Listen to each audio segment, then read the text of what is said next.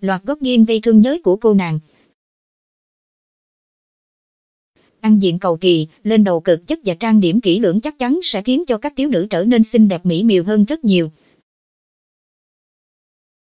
Thế nhưng, không phải người nào cũng rất có thể xinh xắn, trông rất nổi bật chỉ trong bộ đồng phục giản dị và đơn giản khi tới trường. Ấy vậy nên, nữ sinh hứa Thị Quỳnh, 21 tuổi, sinh viên ngành báo chí, trường Đại học Khoa học Xã hội và Nhân dân thành phố Hà Nội đã thực sự khiến cho dân tình trầm trồ khi ngắm nhìn loạt ảnh cô trong đồng phục đến trường. Sở hữu góc nghiêng cực phẩm, hứa Quỳnh trông rất nổi bật trong bộ đồng phục thể dục, dù là trong trang phục học thể dục hay diện ngắn dài trắng truyền thống, thậm chí là quân phục tới trường quân sự cũng khiến cho Hứa Quỳnh nổi bật bật nhờ khuôn mặt xinh đẹp cùng góc nghiêng thần thánh đốn tim người nhìn. Nữ sinh ngành báo đó là minh chứng điển hình nổi bật nhất cho việc đã xinh đẹp thì với đồng phục trường cũng rất có thể tỏa sáng. Chỉ với vài tấm ảnh mặc đồng phục, nữ sinh quê tuyên quang đã thu về lượt yêu quý cực cũng trên Facebook tương tự như ở những trang fan ba trai xinh gái đẹp mặc áo dài trắng truyền thống. Hay phủ lên mình bộ quân phục học quân sự, chính tuyên quan cũng xinh đẹp mặc kệ. Liên hệ với Hứa Quỳnh, chính cho hay cô rất vui khi được mọi người ngợi khen, mệnh danh là nữ thần đồng phục. Những tấm hình chụp lúc tới trường quân sự hay mặc đồng phục thể dục của trường đều trọng dạng tự nhiên, em chỉ tô chút xong cho tư vui thôi. Không ngờ ảnh lại được mọi người yêu quý nhiều như vậy. Đặc biệt khi mặc bộ đồng phục thể dục chụp ảnh, người nào cũng suýt xoa khen đồng phục trường Đại học Khoa học Xã hội và Nhân dân sao mà đẹp thế, khiến cho em có chút tự hào nữa. Có được lợi thế về ngoại hình, nhưng là nữ sinh năng động, tự tin, chính tuyên quan luôn luôn tự trao đổi năng lực, học hỏi và chia sẻ để trở nên tân tiến phiên bản thân bởi hứa Quỳnh hiểu, thời đại hiện thời không thể thành công nếu chỉ trông chờ vào nhan sắc, ngoại hình mà không tồn tại trình độ chuyên môn và sự kiến trì, nỗ lực.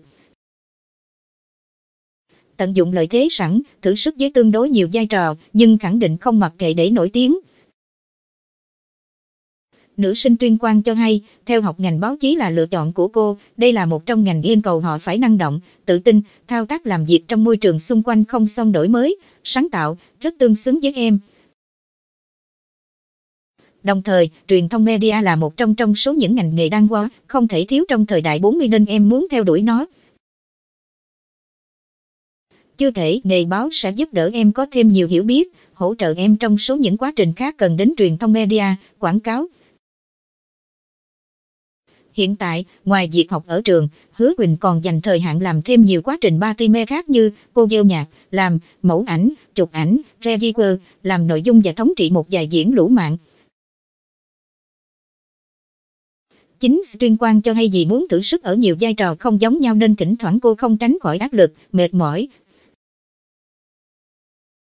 Mỗi ngày chỉ có 24 tiếng thôi, nhưng quá trình thì không lúc nào hết nên không thể phủ nhận là thỉnh thoảng hơi quá tải. Nhiều khi mọi người cứ thấy em ôm lên lướt Facebook nhiều, tưởng mình chỉ chơi không làm gì, nhưng thực tế ban ngày tới trường, đêm về em phải thức học Photoshop, viết kịch phiên bản, chạy quảng cáo cho ba gia em đang thống trị, rồi học thiết kế website. Dù áp lực thật nhưng em nghĩ mình còn trẻ, tranh thủ học với làm được gì thì cứ làm thôi, tích lũy càng nhiều kiến thức, kinh nghiệm càng tốt, sẽ không còn lúc nào thừa cả. Quan trọng là riêng năng phản phiên mọi việc sao để cho hợp lý, không xảy ra ông chồng chéo cánh nhau. Trong ngày, Hứa Quỳnh dành một quỹ thời hạn cắt chặt và cố định cho việc học và quá trình thống trị diễn lũ mạng. Ngoài ra, chính tuyên quan còn tranh thủ làm mẫu ảnh cho những siêu thị thời trang, dẫn chương trình, đóng phim.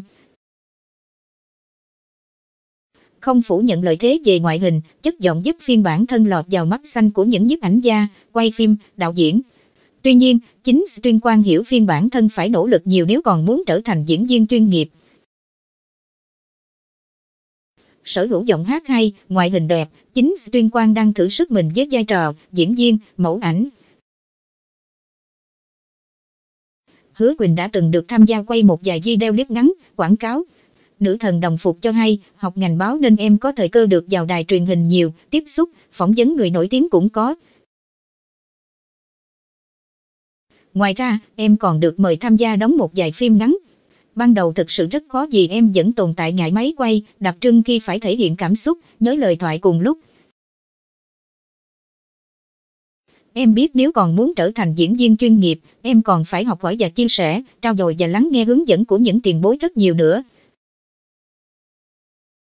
Đặc biệt, Quỳnh cho hay cô nàng chưa lúc nào có ý định tận dụng mặc kệ mọi thứ để nổi tiếng nhanh, thực ra cũng có tương đối nhiều người tìm tới em, mời tham gia những dự án, tuy nhiên em thấy phiên bản thân chưa tương xứng, năng lực có hạn thì sẽ phủ nhận ngay.